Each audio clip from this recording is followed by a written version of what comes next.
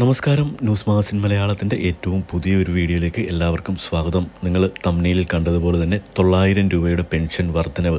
നമുക്കെല്ലാവർക്കും അറിയാം സംസ്ഥാന സർക്കാർ ആയിരത്തി അറുന്നൂറ് രൂപ പെൻഷൻ ഇപ്പോൾ എല്ലാവർക്കും അതായത് പെൻഷൻ അർഹതപ്പെട്ട എല്ലാവർക്കും വിതരണം ചെയ്തുകൊണ്ടിരിക്കുന്നുണ്ട്. അറുന്നൂറ് രൂപയായിരുന്ന ക്ഷേമ പെൻഷൻ ആയിരം രൂപയിലേക്ക് എത്തിക്കുകയും പിന്നീട് അത് ആയിരത്തി അറുന്നൂറ് രൂപ വീതം എല്ലാ മാസവും വിതരണം ചെയ്യുവാൻ തീരുമാനിച്ചത് എൽ ഡി എഫ് സർക്കാർ ആയിരുന്നു എന്നാൽ രണ്ടായിരത്തി ഇരുപത്തിയൊന്നിൽ തിരഞ്ഞെടുപ്പിനെ നേരിട്ടപ്പോൾ എൽ ഡി എഫ് മുന്നോട്ട് വെച്ച ഏറ്റവും പ്രധാനപ്പെട്ട തിരഞ്ഞെടുപ്പ് മുദ്രാവാക്യം ക്ഷേമ പെൻഷൻ രണ്ടായിരത്തി അഞ്ഞൂറ് രൂപയിലേക്ക് എത്തിക്കുമെന്നതായിരുന്നു. എന്നാൽ രണ്ടാം പിണറായി സർക്കാർ അധികാരത്തിലെത്തി രണ്ടര വർഷം കഴിഞ്ഞിട്ടും പെൻഷൻ തുക വർദ്ധിപ്പിക്കാത്തത് കേന്ദ്രം സംസ്ഥാനത്തിനുള്ള കടമെടുപ്പ് പരിധി വെട്ടിക്കുറച്ചതുകൊണ്ടാണെന്നാണ് ഇപ്പോൾ സംസ്ഥാന സർക്കാരിന്റെ വാദം. നിലവിലെ ആയിരത്തി അറുന്നൂറ് രൂപ ക്ഷേമ പെൻഷൻ തൊള്ളായിരം രൂപ കൂടി വർദ്ധിപ്പിച്ച് രണ്ടായിരത്തി അഞ്ഞൂറിലേക്ക് എത്തിക്കുന്നതും കാത്ത് സംസ്ഥാനത്ത് അറുപത്തി നാല് ലക്ഷത്തോളം പെൻഷൻ ഗുണഭോക്താക്കളാണ് കാത്തിരിക്കുന്നത്. രണ്ടായിരത്തി ഇരുപത്തിനാല് മാർച്ച് മാസത്തോടുകൂടി പെൻഷൻ വർധനവ് സംബന്ധിച്ച ഏറ്റവും പ്രധാനപ്പെട്ട അറിയിപ്പുകൾ സംസ്ഥാന സർക്കാരിന്റെ ഭാഗത്തു നിന്നും ഉണ്ടാകുമെന്ന സൂചനകൾ ലഭിക്കുന്നുണ്ട്. അതോടൊപ്പം തന്നെ രണ്ടായിരത്തി ഇരുപത്തിനാലിലെ ലോക്സഭാ തിരഞ്ഞെടുപ്പിന് മുന്നോടിയായി തന്നെ സംസ്ഥാനത്തെ പെൻഷൻ കുടിശ്ശിക മുഴുവൻ വിതരണം ചെയ്യുന്നതിന് വേണ്ട തീരുമാനങ്ങളും സംസ്ഥാന സർക്കാരിന്റെ ഭാഗത്തു നിന്നും ഉണ്ടാകുമെന്ന അറിയിപ്പുകളും വന്നിട്ടുണ്ട്. പെൻഷൻ വിതരണം സംബന്ധിച്ച് കൃത്യമായ അറിയിപ്പുകൾക്കും മറ്റു വാർത്തകൾക്കുമൊക്കെയായി ദയവായി ചാനൽ ഒന്ന് സബ്സ്ക്രൈബ് ചെയ്ത് സപ്പോർട്ട് ചെയ്യുക.